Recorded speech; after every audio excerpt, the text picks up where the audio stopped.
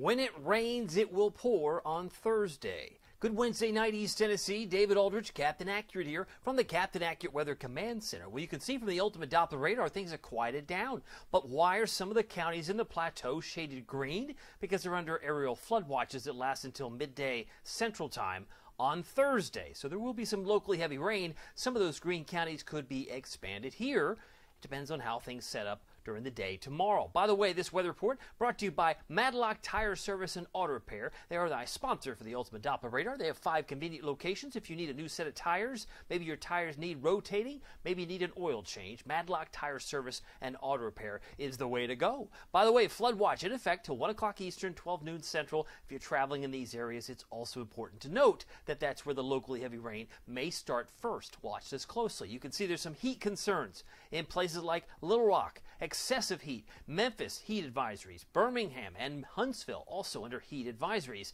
heading into tomorrow. Lots of clouds initially today, then the sun popped out, so it's been like a typical summertime pattern.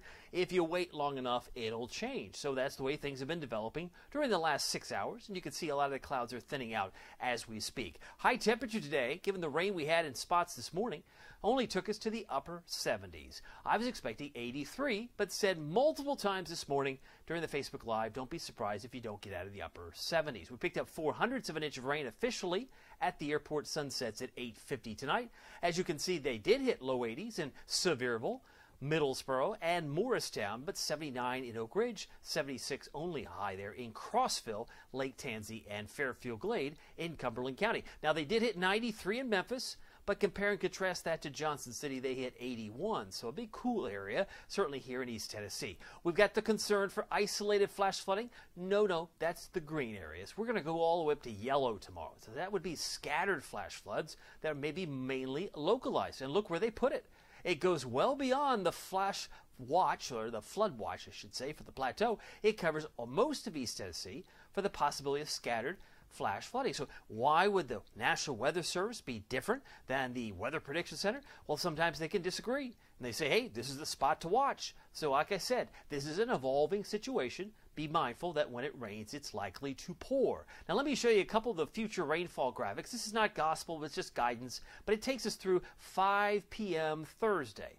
Now, some of you say, that's not a lot of rain, not yet, but give it some time. Maybe about an inch around Knoxville, maybe an inch around Crossville. Other models say, no, no, might be a little bit less. Some might be a lot more, but this takes us through 5 p.m., a different model, uh, and it shows over an inch in places like Oneida and La Follette, and some areas in yellow closer to inch and a half to two just across the state line. And Middlesboro, 1.3, Jonesville, 1.3. So it really depends on where these storms take up residence. More storms expected on Thursday. Fewer storms on Friday, but good news for the Granger County Tomato Festival. I might add it's the 30th anniversary. That's a big deal. Uh, trending drier. Maybe a stray shower for the weekend, but outside of that, it looks okay looking ahead down the road. Now, I mentioned we have a lot of green areas uh, in Middle Tennessee. That includes Nashville, includes the plateau. That's all issued by the National Weather Service in Nashville. But the storm potential on Thursday will be aided by storm development with this flow of air in the upper level parts of the atmosphere. So a couple rounds of storms are going to be possible. Some could be strong to severe right through the heart of our viewing area. Storm Prediction Center pointing out there could be some uh, isolated severe storms during the course of tomorrow. Uh, they put a numerous spot there in orange right between Colorado uh, Oklahoma and Kansas. Back home, there's some areas around Charlotte and maybe over toward Lexington where they might have some scattered severe storms. But really, it's right up, up to just uh, just north of Jellico where it might be a little more active.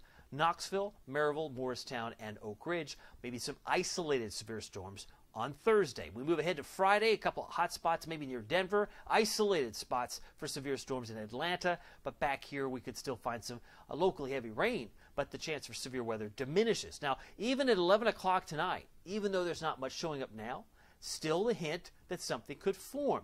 But of course, we need some clouds before we see the rain to turn. Now, this wants to put it right around 7 in the morning, right through midday. You say, man, it's, it's coming down in buckets, and in spots it may.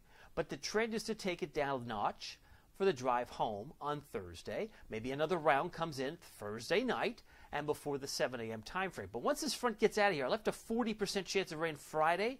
Front's not gone.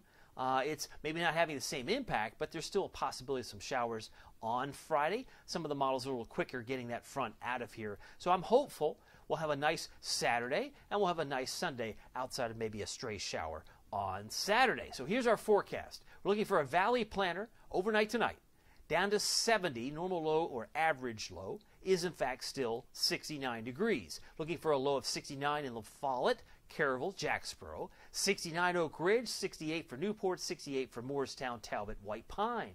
Oh, tonight, partly to mostly cloudy. Might be partly cloudy now, maybe mostly cloudy by the time you get up out the door tomorrow. Showers and storms on the increase, and that stays with us on Thursday. If we only hit 78 today, we may be pie in the sky to get to 81 tomorrow but winds will be about 5 to 10, could be gusting a little bit higher with an individual storm. Big difference from Tellico Plains and, say, Oneida. Maybe 7 degrees from north to south. 83 for Middlesboro, 80 for Oak Ridge. I've got us at 79 in Morristown for a high on Thursday afternoon. Here's your Captain Accurate Weather Authority forecast for Knoxville and East Tennessee. 86 Friday, 85 on Saturday. Big Granger County Tomato Festival. Good weather, less humid too, especially when we can dip to 63 Sunday morning. That may be a low spot in the humidity, at least for temporary purposes. 89 on Monday and Tuesday.